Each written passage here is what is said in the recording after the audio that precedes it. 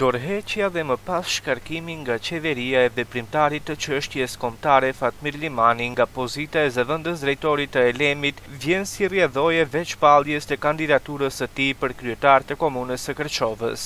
Kujtojmë se Fatmir Limani edhe pse i emëruar në këtë pozitë nga Bashkimi Demokratik për Integrim, ai nuk ka qenë asnjëherë anëtar i këtij subjekti dhe as në strukturat e saj drejtuese.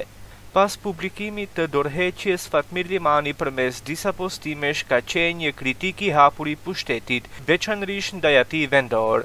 Nisma e tij për të shpallur kandidaturë të pavarur për kryetar të Komunës së Kërçovës, edhe pse përpara janë edhe disa muaj deri në mbajtjen e zgjedhjeve lokale, ai paralajmëron zyrtarizimin e kësaj iniciative, sikurse shprehet edhe nga spitali ku trajtohet nga Covid nëntëmbëdhjetë. ku në tekstin e postuar në Facebook shkruan, Jam rritur e shkolluar me punë krahu, duke mos i hyrë ndër hak asnjeriu. Bëra sa pata mundësi, kushte, hapësirë dhe aftësi në kuadër të detyrës me të cilën isha i ngarkuar. Punën time do ta vlerësojnë të punësuarit, të cilët ushqejnë fëmijët dhe familjet e tyre. Sido që u përmbyllën gjërat, unë vazhdoj të veproj si i pavarur dhe drejt realizimit të qëllimit në tetor.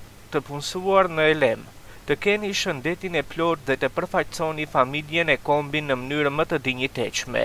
Mos lakmoni djersën dhe hakun e huaj, sepse jeta është e shkurtër, por kujtesa s'tretet as përtej varrit. Falenderim për të gjithë shokët të cilët me sinqeritet bashkëpunuan në periudhën e shkuar për të mirën e përgjithshme. Duke i uruar redaksia e televizionit tonë shërim të shpejtë veprimtarit Fatmir Limani, vlen të theksohet se nga pozita që ai kishte në ELEM, atë e karakterizon një sukses i admirueshëm gjatë kohës që kishte në këtë detyrë.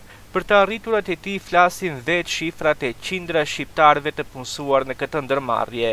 Me theks të veçantë, ai u përkujdes që numri i shqiptarëve në punësim të rritet në qytetin e alfabetit, ku në Termocentralin e Manastirit në drejtimin e tij janë punësuar qytetarë shqiptarë, numri i të cilëve arrin atë treshifror.